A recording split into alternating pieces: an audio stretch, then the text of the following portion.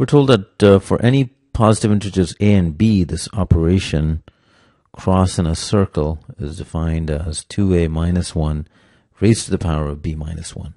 And the question is asking us to evaluate uh, this product. So the way to do this is to first start with the inside the parentheses, so 2, I'll call it cross.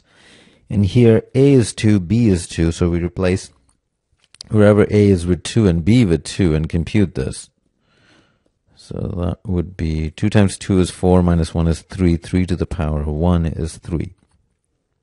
Now we replace this with 3, this would be equivalent to 3 cross 3.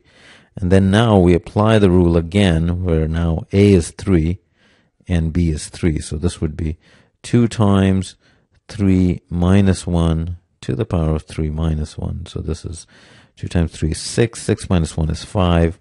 And that's 2. 5 square is 25 is the answer.